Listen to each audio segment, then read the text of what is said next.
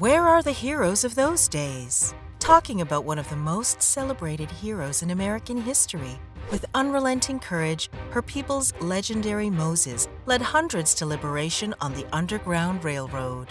This astonishing black woman braved capture and death repeatedly to free slaves, earning her place among the greatest heroes in America's long battle against slavery. She joined Union forces when the Civil War erupted, becoming the first woman to lead a U.S. military op. Hello and welcome back to another episode of Her Story, Unforgettable Women. For today's video, we're returning to a very different era. Harriet Tubman ended slavery and impacted the Civil War. Harriet Tubman was a woman who escaped slavery and became a conductor of the Underground Railroad. She helped other enslaved people get to freedom before the Civil War, even though there was a reward on her head. She worked as a nurse, union spy, and backer of women's right to vote. Many famous people in American history are like Tubman. Her story has motivated many people of all races and backgrounds. Harriet Tubman was born on a farm in Dorchester County, Maryland, around 1820 as a slave child. Exact birthdays are not known, as enslaved people were not considered human and their dates were rarely recorded. They named her Araminta Ross. Harriet had eight brothers and sisters, but many had to split up because they were enslaved, even though her mother tried to keep the family together. Harriet was five years old when she was hired as a nursemaid and was hit when a baby cried. The abuse left her with mental and physical scars that will never go away.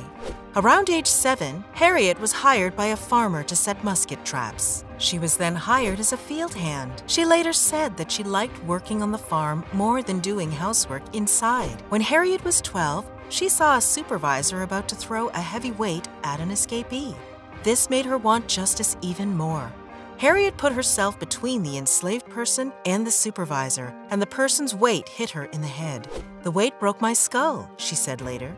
They took me to the house while I was bleeding and passing out. They put me on the seat of the loom because I did not have a bed or anywhere else to lie down. I stayed there all day and the next day. She had headaches and sleepiness for the rest of her life because of the good deed she did, which made her fall into a deep sleep at random.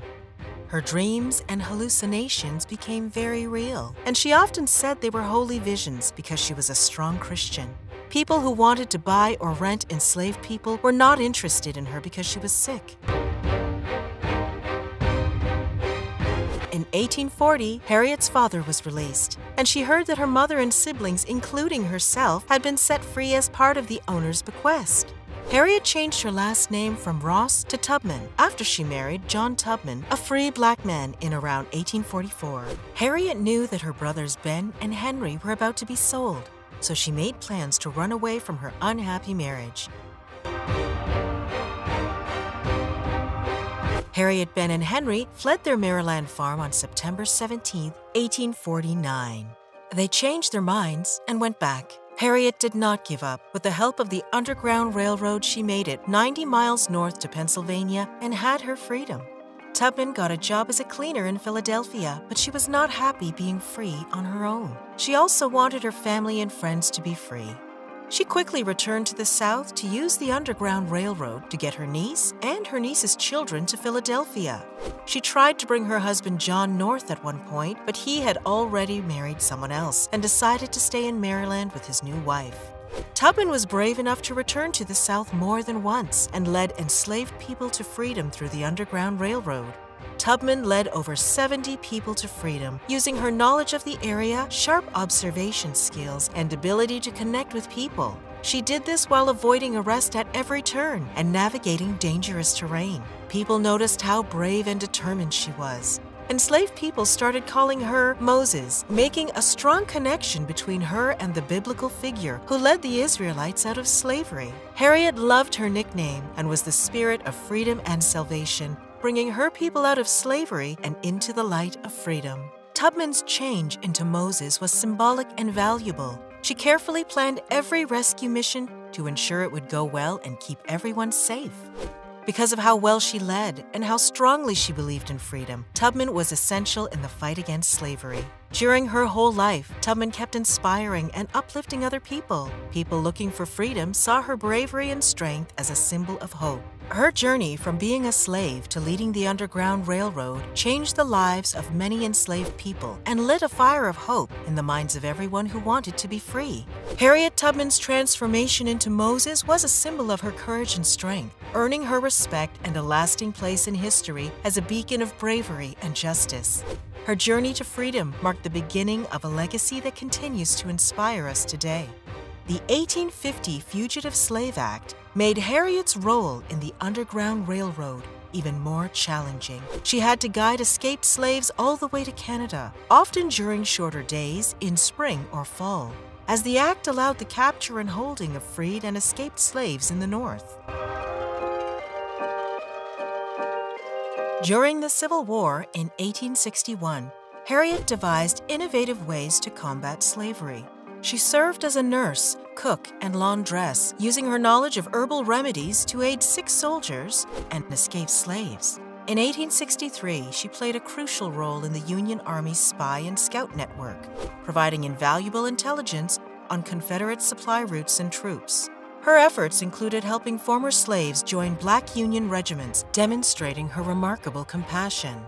Despite her petite stature, it took the government more than three decades to acknowledge her military service and provide compensation. Harriet Tubman also led a daring attack on South Carolina farms, liberating more than 700 enslaved individuals and becoming the first woman to lead a group of soldiers during the war. After the war, Tubman continued her activism in Auburn, New York, advocating for women's suffrage and social rights. She established the Harriet Tubman Home for the Aged, offering a sanctuary for impoverished and disabled African American seniors, where she resided until her passing in 1913.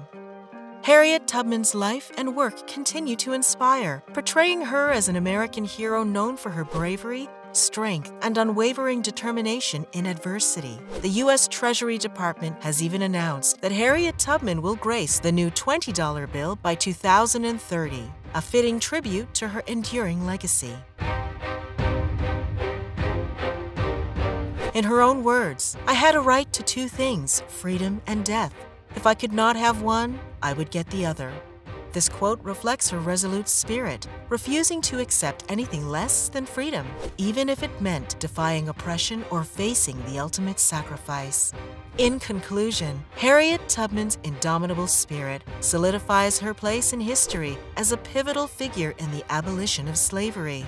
Her bravery and sacrifices embody the unwavering determination of African Americans in their quest for freedom and equality, earning her the revered title of Moses from those she liberated.